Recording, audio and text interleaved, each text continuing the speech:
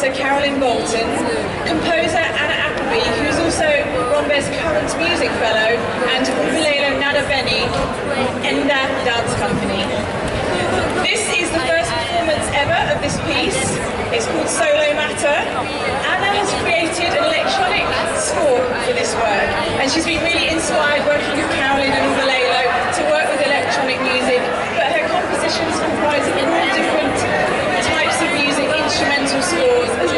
electronic.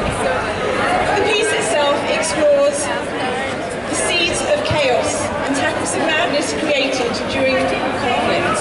I really hope you enjoy this new creation, a collaboration between Carolyn Bolton, Anna Appleby and Mbulelo Ndabeni and their dance company. Thank you.